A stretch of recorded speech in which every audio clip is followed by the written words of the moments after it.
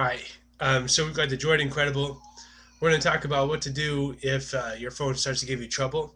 If it starts to, uh, you know, like get froze, um, things start to just not work right.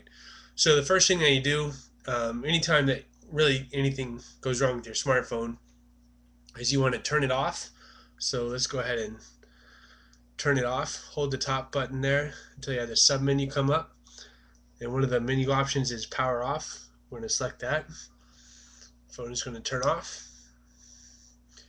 Once it's turned off, then we're going to pull the battery out. And you really need to let it set uh, out of the phone for at least 30 seconds.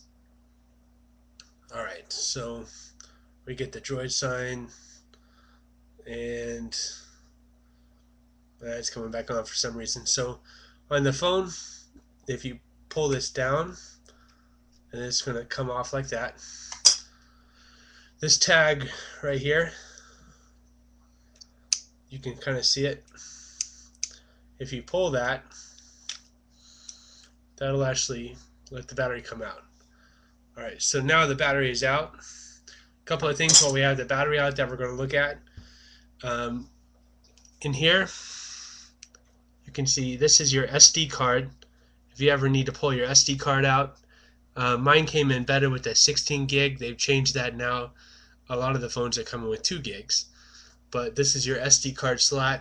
If they ever ask you for your serial number, you can see it right here at the very bottom. It says MEID HEX. It's an A followed by a lot of zeros. Uh, that's your serial number of your phone. So if they ever ask you for that, that's how to find it.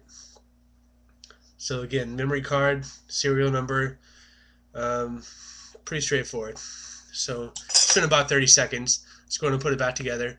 The main thing to remember when you're putting it back together is this is your battery. It's got the metal contacts right here. And you can see on your phone the same metal contacts right there. So we're going to line these up. Okay. And then you can see your phone actually has got a little thing right there that needs the battery, you can see it's right there on the cover. It needs to be on there. So we'll put that on and slide it up to lock it.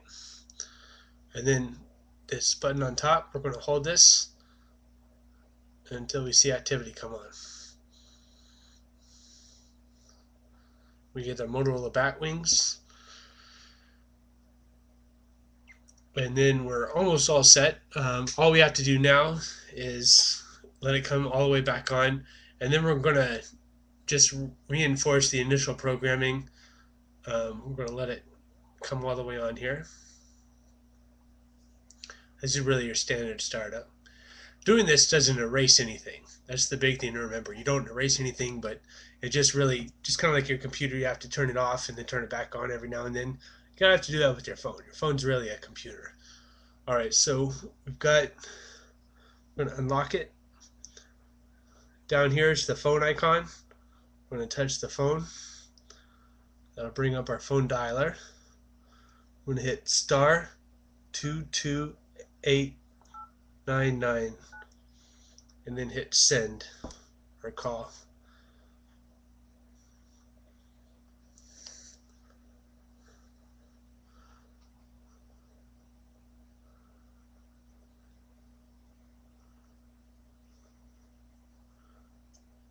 Huh, I didn't do it. See, I needed to do it myself.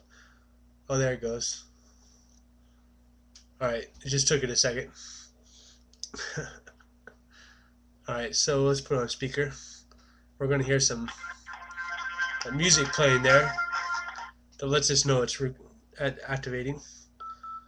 Okay, so it says your phone is now activated. And again, that didn't erase anything. Uh, it didn't really mess with your phone at all. It just simply reinforce the initial programming. So, but next at the bottom there goes back to your home screen, and you should notice that your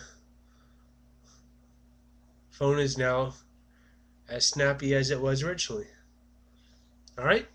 So again, my name is Saul. If you have any questions or any anything going wrong with your phone, just email me and I'll uh, try and help you out. All right. Thanks.